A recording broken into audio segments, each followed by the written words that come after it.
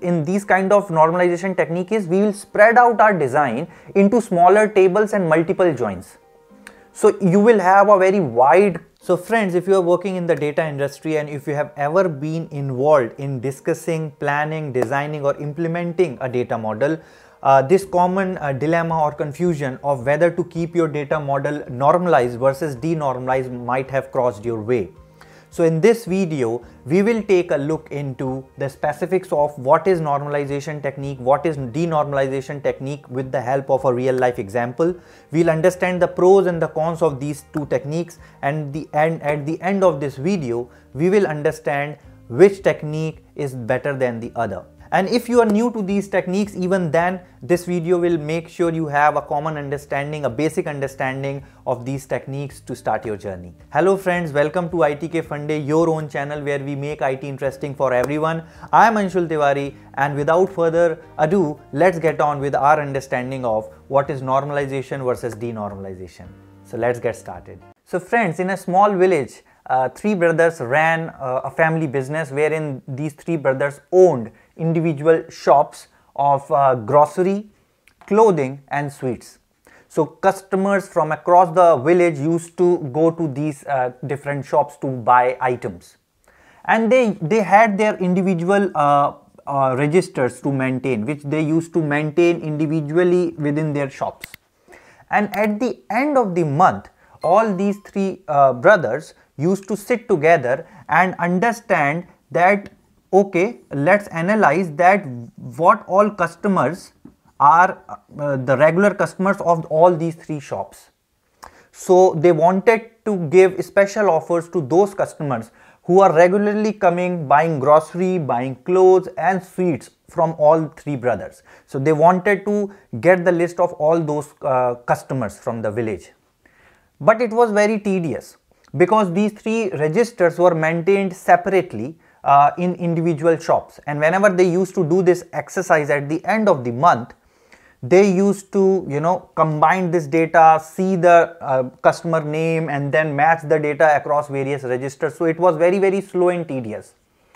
So they came out with an idea that instead of having individual register where they will have individual items to record for individual uh, you know specific shops they will have a combined register and this combined register will have data entered for all the three uh, shops. So grocery clothing and sweets.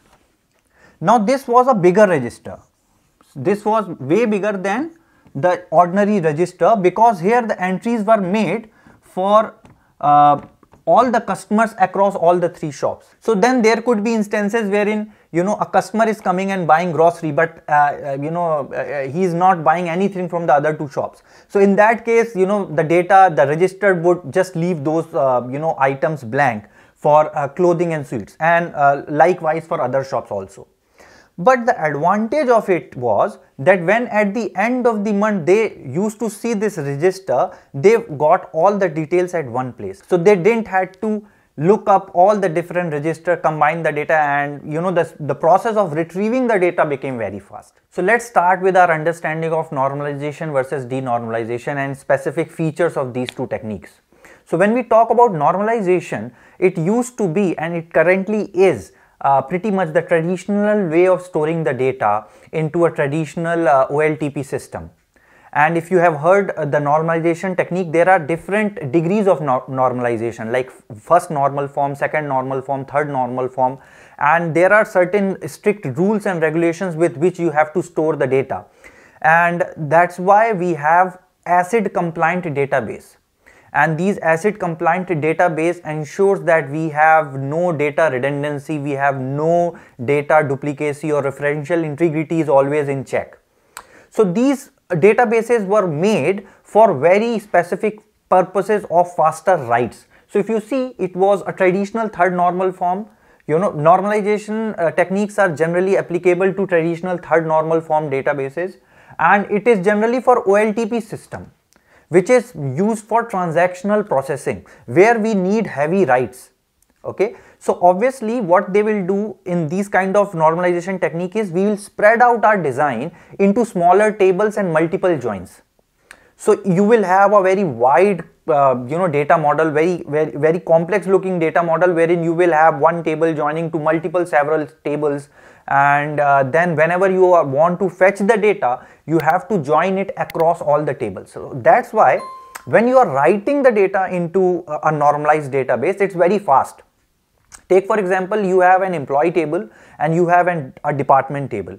And then you have uh, employee attributes employee name employee id salary address etc and then you have a column uh, a key column which is department id and then using that department id you join it to a department table and get the department names from that particular table uh, to, to understand which employee belongs to which department. So now in this case, if you want to get the data, if you want to run the query that, okay, I want to understand which employee belongs to which department, then it has to join it. And sometimes the cost of joining is performance. If your joins are very complex and it is adding multiple tables into your query, it becomes very, very slow. So what if instead of putting everything together, you bring the department name within the employee table? and then what you will have you will instead of running two different uh, fetches uh, from employee and department you will have department name built inside the employee table. And then you can have your separate department table to run and add additional attributes for department. But in this particular case your employee table will have that particular department name so you can run the query exactly uh, on that particular employee table. So that's where we denormalize the data okay? We'll which, which we'll understand after after this. So understand that it, it is good and, and it is good for certain cases where you have write heavy applications where we have to focus on writing the data. Then you need to have a normalized database.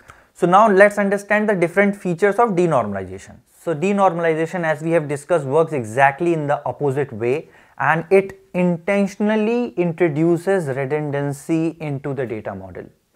Because we want intentional duplicacy or redundancy so that we have everything in one plate and we directly get it from that particular plate okay that particular table.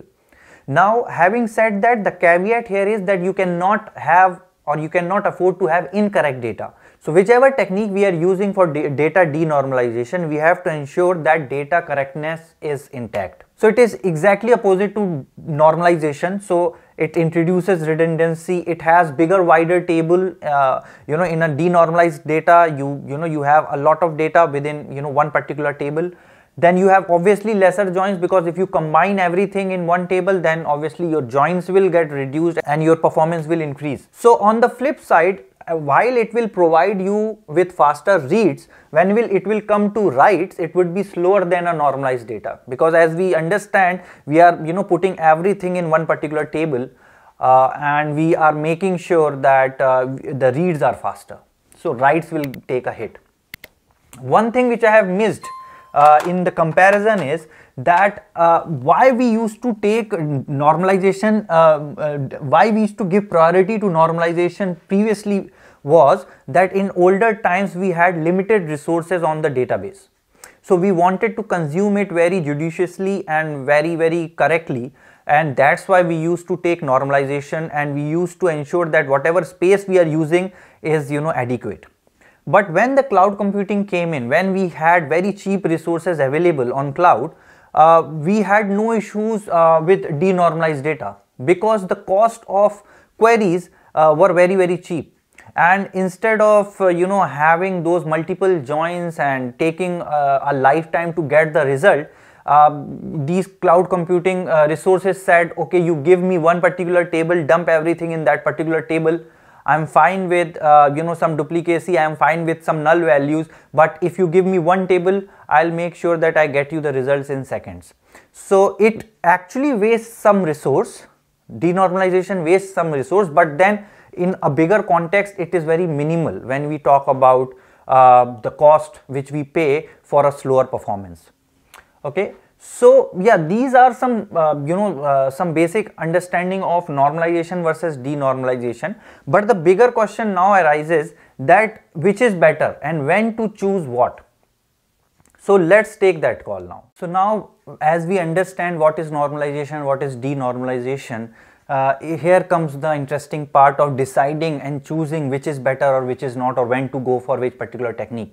So in my perspective, both the techniques are good in uh, in its own sense and you as a database architect or a data architect have to decide in your particular use case which particular technique would be more useful. If you are building a write heavy intensive write intensive application suppose an ordering application wherein there are customers ordering something every 2 seconds 3 seconds every minute those kind of write heavy applications should have a normalized database or normalized data model. Whereas if you are building a data warehouse or a data lake solution where you have olap analysis where you have bi reports where you have uh, you know trend analysis reports which you need to run uh, then in those cases you need to have uh, denormalization. But at any given point of time it is not mandatory that you have to normalize to the nth degree and then or uh, or you have to denormalize the data completely you can have best of both the worlds so if we go back to our first layman example uh, where we had three different shops okay so in, instead of combining everything into one particular register, they could have also because like when you are entering everything in one register, then it would impact your writes, right? While it will improve your reads. So they could have taken a balanced approach. So they could have a common register made for grocery and sweets because these two comes under edible items okay so they could have uh, made that so that one register is for that and one specific separate register for clothing. So I hope we now understand what is normalization, what is denormalization and when to choose what. So friends, if you like the video, if you got some value out of it, I'll really request you to hit that like button so YouTube spreads it and shares it with someone who also want to learn uh, some IT fundamental concepts on this channel. And until next time guys thanks for all your support. Keep uh, liking this channel keep subscribing keep sharing it with your friends and colleagues. And hit that bell notification so you know when uh, i upload my next video. So until next time please keep learning keep sharing all the knowledge. And yes keep hustling. Bye for now